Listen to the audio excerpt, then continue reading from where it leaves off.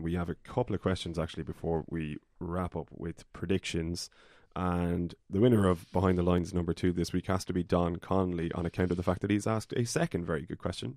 Um, he asks, uh, or he's, out, so he says rather, word of Cian Kelleher moving back to Leinster. Can Connacht progress as a feeder team? And Cian McIntyre also asks any thoughts on Cian Kelleher's move back to Leinster, which hasn't actually been confirmed yet, uh, but is going to happen. Let's be honest. Um, any thoughts there, Lance? I don't think I'm not sure what how he's phrased. Can Connacht progress as a feeder team, as in if they lose the likes of Cian Kelleher? I suppose he perceives them to be a feeder team at the moment if they're losing the likes of Kelleher. Well, they've been fed for a long time. Like well, Kelleher came down to them from yeah. Leinster, so it's not like Connacht. If if Cian Kelleher was from Monivea or he was from, you know, a local club down in, in Galway where they're losing him to Leinster, he came from Leinster now he's going back. So I don't.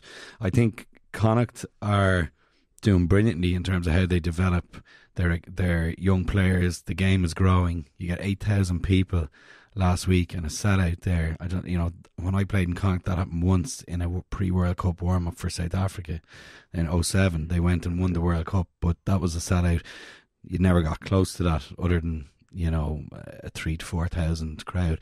So they're they're Connacht won't. I certainly don't think they're viewing themselves as a as a club who loses their best talent now to the bigger provinces. I think what they're doing is they're being very resourceful. The door is open for guys who haven't made it in other provinces to come in and push on and but they're also really smart in terms of how they developed from their under 18, under 16, under 18, under 20s.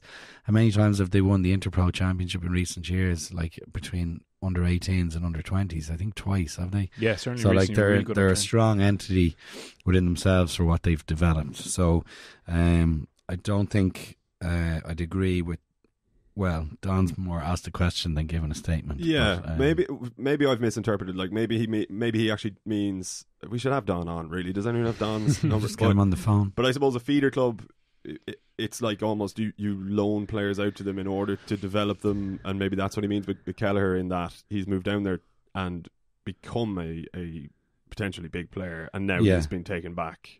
Like maybe is that that's not a sustainable model to his mind. But I don't know if it's yeah. But I mean, Connacht obviously would have preferred to hang on to him, but they certainly have other options in the back three. I know mm. he's in good form at the moment, and um, and certainly he's made a personal decision that he feels suits his career best, which is uh, good to see because you want a, a, player who's happy with what they're doing and where they're, where they're playing their rugby. But I mean, they have Adeolokun, they have um, plenty. They have Matt Healy, they've uh, Kyle Godwin's played a lot on the wing this season, so I think they'll be okay. Like the the, the budgeting thing is massive. They're equally funded now, are a few, mm. and I guess old kind of I don't know stereotypes probably ring ring ring hard uh, and are hard to get over. Sorry, um, but certainly in the in the recent past, even Ultan Dillane, like he's re-signed. Mm. Word by all like by all accounts, Munster were in for him yet again for a second contract in a row, um, trying to get him home as they would see it to Munster.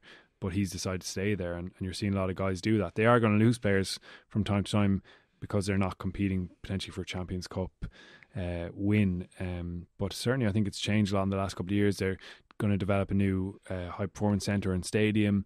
Um, and that'll add a lot to their ability to hang on to players and actually attract a, a couple more players with an even bigger budget. So, um, no, I wouldn't see them as a feeder team. And even Jack Carty as well as, as re signed as well. So, yeah, I think there's plenty of positives there as well as the disappointment of losing a guy who's in really good form.